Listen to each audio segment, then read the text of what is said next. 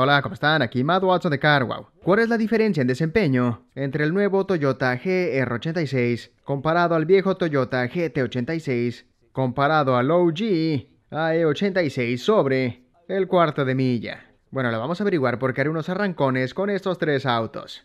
Así que del GR86. Tiene un motor boxer de 4 cilindros atmosférico de 2.4 litros que genera 234 caballos de fuerza, 500...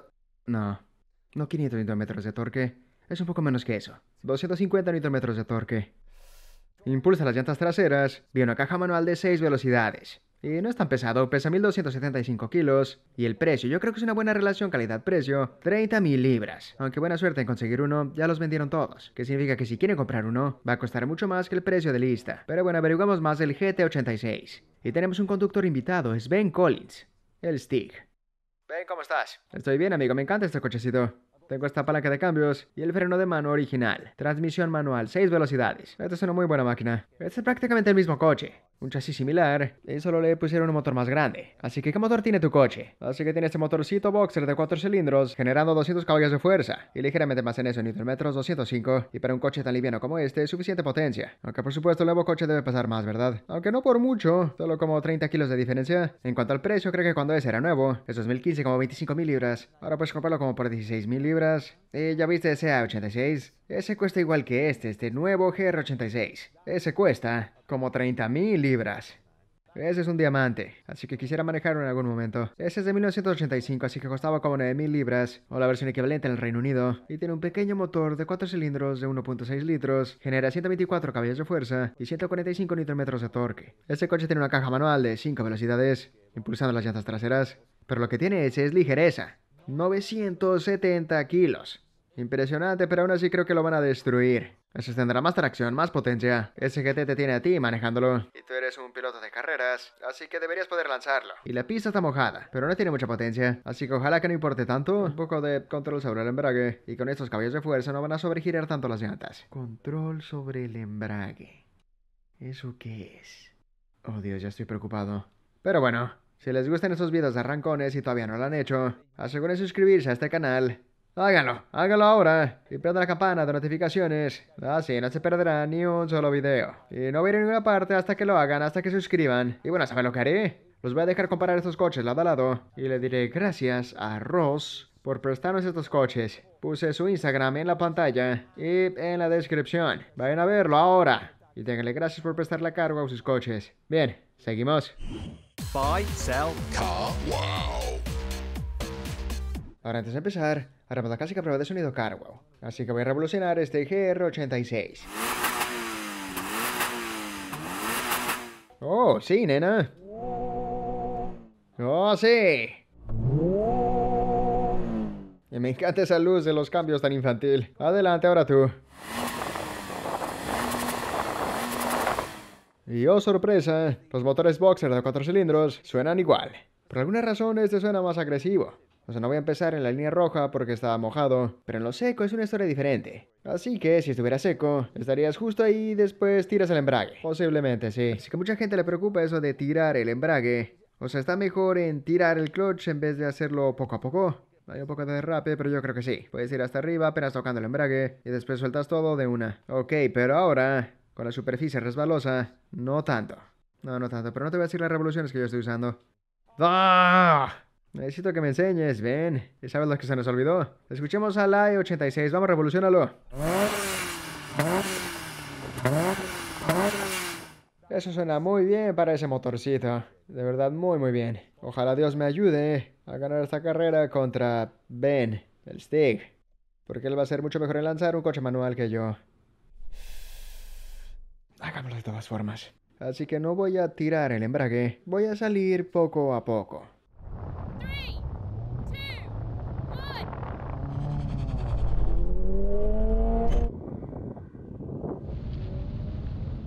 Le gané de la línea. Oh, Dios. Ese es un buen tiempo. Oh, Dios.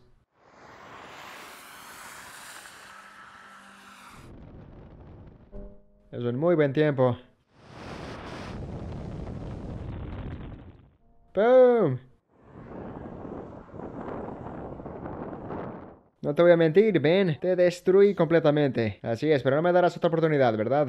Ah, no sé si me voy a lanzar tan bien como ahí, es el único problema. Estuvo muy bien. Se ve como el lanzamiento perfecto y después la potencia salió muy bien. Quisiera probar algo diferente con este, porque tuve la tracción apagada, pero eso no funcionó tan bien porque las llantas sobregiraron, así que voy a probar otra cosa. vamos, ¿sabes qué quieres? Ok. Vamos a hablar del A86, el OG, el abuelo que iba delante del GT en el cuarto de milla. ¿Qué? Ven, quedaste muy mal. Te ganó al salir de la línea. Ese abuelo. Bueno, yo creo que ya mejor me voy. Ok, así que hay que hacerlo otra vez. Así que ven lo que yo hice. Bueno, de hecho no te diré lo que yo voy a hacer porque tú no me vas a decir lo que tú ibas a hacer. Así que voy a mantener mi metodología en secreto. Yo creo que usé revoluciones y la tracción prendida. Mal. Lo estoy usando en Sport y tracción apagada. Y solo salir así. Él no sabe eso. No le diré. Quiero ganar.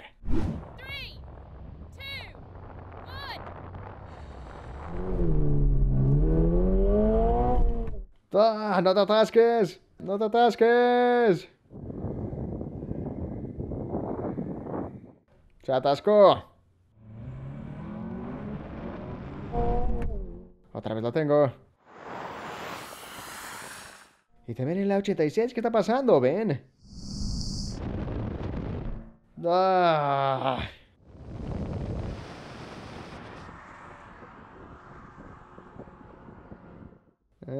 ¿Cuál es tu excusa esta vez? Ninguna excusa, para ser justo. Los ustedes están saliendo muy bien. Y eso es lo mejor que puedo hacer al salir de la línea. Probé de dos formas y fallaron. Y se atascó. O sea, básicamente sobregiran las llantas al salir. Ustedes van adelante como buitres. Bueno, te digo lo que hago. Tengo la tracción apagada. Tengo todas las revoluciones con el freno de mano. Y después solo acelero. Ese es mi truco, ven. Ya te di todos los detalles. Inténtalo de nuevo.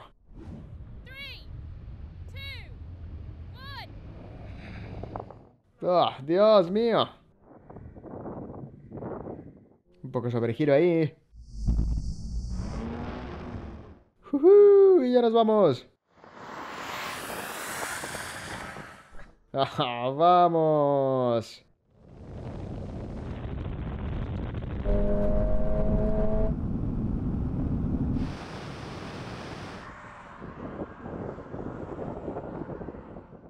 ¿Usaste mi técnica? Así que yo empecé de la forma que lo haces tú ahora. Lo probé con la tracción apagada, prendida. Es el mismo problema todas las veces. O sea, y no avanza. Mientras que ese, lo hace porque es más liviano. Y tal vez tiene más torque que esto. Este coche es un poco más pesado que el tuyo, pero tiene un poco más de torque. 250 comparado a 200 Nm, así que ese es un gran salto. Y considerando que solo es 30 kilos más pesado, ahí lo tienen. El lanzamiento en ese no es tan bueno. Es obvio que hicieron más que solo tunear el motor. O tal vez hicieron algo con la suspensión y controla más la potencia. O tal vez la mejora de llantas Michelin Pilot Sport 4S. Le ganaste al E86, eventualmente. Para ser justo, me estaba ganando todas las veces. Es bastante consistente y deprimente, pero eh, estuvo cerca. Esta fue la más reñida de las tres. Entonces, ¿qué sucedió exactamente? Bueno, el GR86 ganó, completando el cuarto de milla en 14.6 segundos. El GT86 llegó segundo, tomándole 16.5 segundos. Y el AE86 fue último, cruzando la línea en 16.9 segundos. Y como batallas mucho con ese coche al salir de la línea, a pesar de ser un profesional, Quisieras hacer un cuarto de milla en movimiento, empezando en primera marcha. Así que quitamos el lanzamiento inicial de la ecuación. Sí, por favor. Y mientras soy generoso, quisieras decirle a todos de tu propio canal de YouTube, donde vas a hacer muchas locuras. Creo que le pusiste un cronómetro a la vieja pista de Top Gear, ¿no? Así es, así que es Ben Collins Drives. He hecho unas reseñas muy divertidas y regresé a la pista de Top Gear, que fue increíble. Así que sí, a ver cuándo vas tú. Deberíamos, vayan a hacerlo, vayan a suscribirse. Muy bien, así que todos emparejense.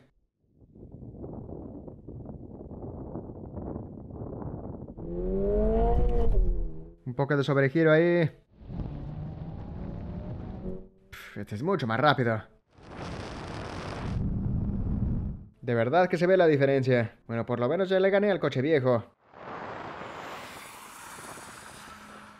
De verdad que se ve la diferencia.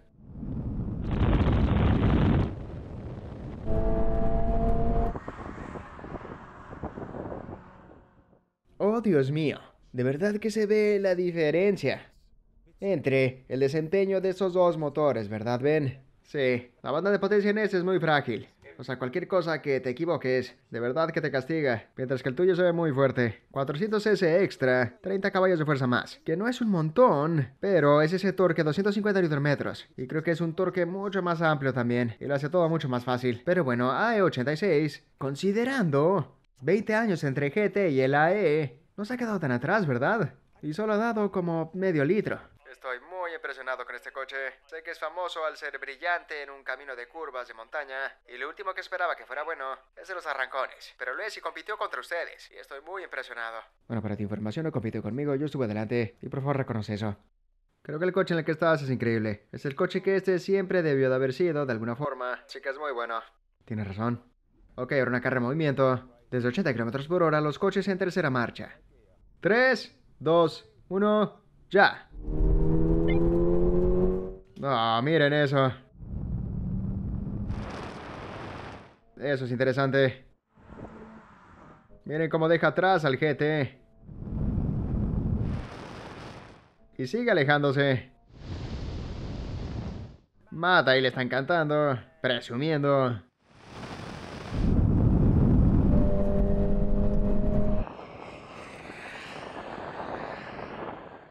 Ahora, ven, eso lo dice todo. Porque tu coche debió estar en la banda de potencia ahí, pero ese simplemente se fue, ¿verdad? Sí. O sea, ese coche viejo, creo que ahí es donde era más débil y pura potencia y no pudo mantenerse ahí. No, pero de verdad puedes ver el beneficio del torque con este nuevo motor, ese 2.4, a comparación de ese 2 litros de la 86. ¿Dónde está la banda de potencia en ese coche, sabes? ¿Dónde se siente en 4 y medio? En este se fue todo, y por un muy breve momento. Y no es lo mismo con el que estás usando.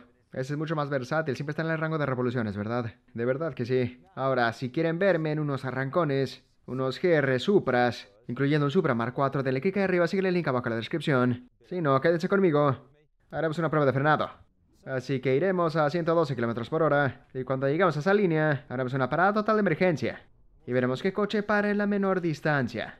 El GT86 y el GR86 tienen ABS, obviamente el viejo A86 no, así que requiere de más habilidad no bloquear los frenos. Y solo haremos una parada de emergencia. A ver qué pasa.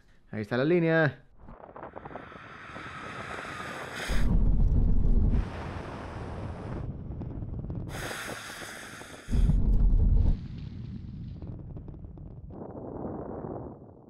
Bueno, ahí lo tienen. Así que los dos coches modernos frenaron una distancia similar porque un peso similar, un chasis similar y ABS. Mientras que el coche viejo sin ABS, de verdad se ven los beneficios del ABS, ¿verdad? Estuve sorprendido por eso, pero sí. Y creo que si la pista hubiera estado seca, hubiera parado en menos tiempo, hasta con las llantas bloqueadas, pero en lo mojado sí, ha doblado su distancia de frenado. Y por eso, todos los coches nuevos han tenido ABS por siglos. Ahí está la razón.